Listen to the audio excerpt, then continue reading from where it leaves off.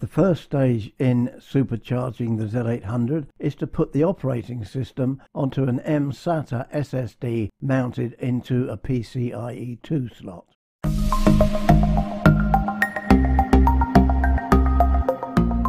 Hi there, Albytastic here and welcome.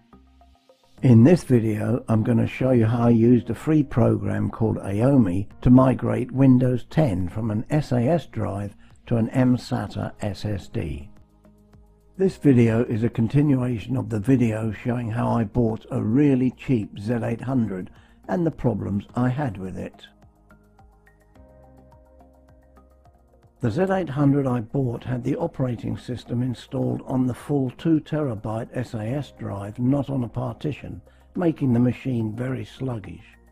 Migrating the operating system to an SSD would make the whole workstation much more responsive and mounting the SSD on a PCIe 2 slot would be faster than using an ordinary SSD running on SATA 2. The mSATA SSD mounts on this adapter very easily using two little screws and it's then fitted into a PCIe slot on the Z800.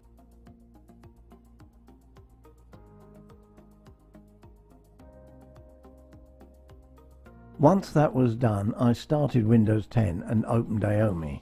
This is the interface showing the two drives. This is the 2 terabyte SAS drive showing the system installed on the whole drive, and this is the small bootloader for it.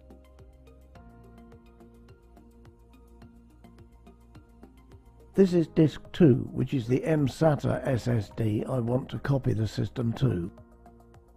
To copy the system I have to shrink the SAS drive down to a manageable size so it will fit onto the much smaller mSATA SSD. To do that I first highlight it and then click on the Resize Move Partition button.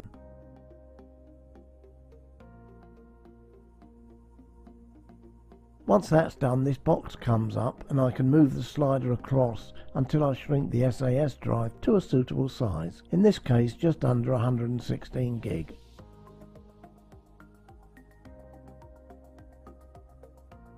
Then I click OK and I have to go up to the top left hand corner and click apply to finish the process.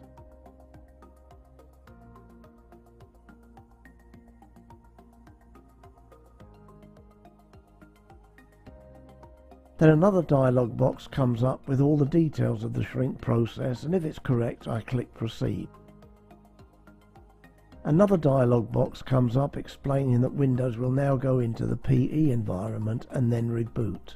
The PE environment is a small program used by developers which allows various operations to be carried out on Windows, in this case Windows 10. Once I click OK, Windows 10 restarts and a small progress bar shows various files being copied.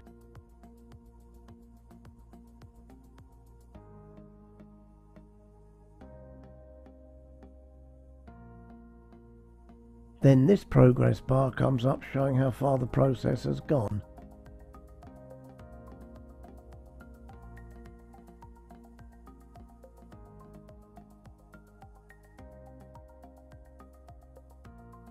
Once it's completed, this box comes up and I just clicked restart rather than wait for 30 seconds.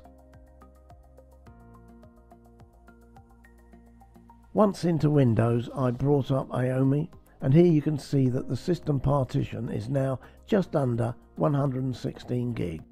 Now it's time to copy the operating system to the mSATA SSD. So I go up to the Migrate OS button and click it. That brings up this dialog box and I click Next to continue. Once that's done, I have to choose where to copy the system to, so I click on Unallocated, which is the empty and unformatted mSATA SSD. Once I've chosen the location, I click on Next. Then this dialog box comes up with all the details about converting the mSATA SSD to the primary partition, which will then become the boot drive. Another box comes up and I just click Next, then go up and click on Apply as before. And yet another checkbox comes up and after checking that everything is correct I click proceed. Again I'm told that the PE environment is being created and I click proceed. Once that's done Windows restarts and the file copying progress bar shows up. Then AOMEI starts the process of copying the operating system. This can take any time from 10 minutes onwards, so I've compressed the timeline here. So far we've only seen the graphical interface AOMEI uses, but in some cases you may get the pre-OS environment and see this instead.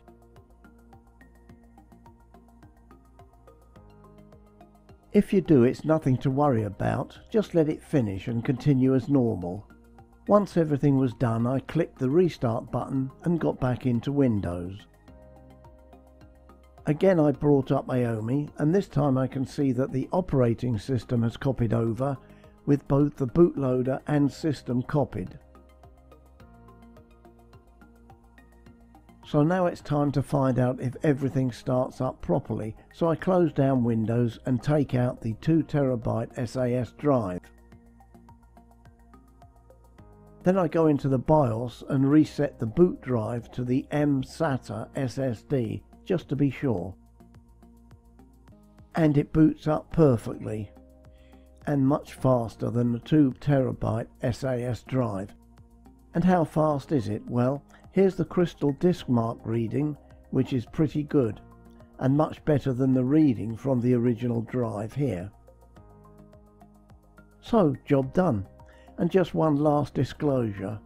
What you have been watching is a complete recreation in a virtual machine of what actually took place in the real world. I ended up doing it this way because it was almost impossible to get decent quality by taking videos of my monitors. This is the kind of quality you would have seen if I'd done that. Pretty awful. And that is one reason why this video has taken so long to produce. If you're interested in the video seeing how I did it and also how you can actually get a video inside a virtual machine, let me know in the comments below. Also let me know if you like the musical background. I tried not to make it intrusive. And also let me know if you like the new intro to my channel. The next video in this series on supercharging the Z800 will show you how to create a super hard drive running at about 450 megabyte a second using the RAID facility built into the Z800. But for the moment, thank you for watching this far and take it away Amelia. Hello friends. If you enjoyed our video, can I ask you to give it a like, share it with your friends, and subscribe to our channel. We would love to have you as a regular viewer. Thank you, and have a lovely day.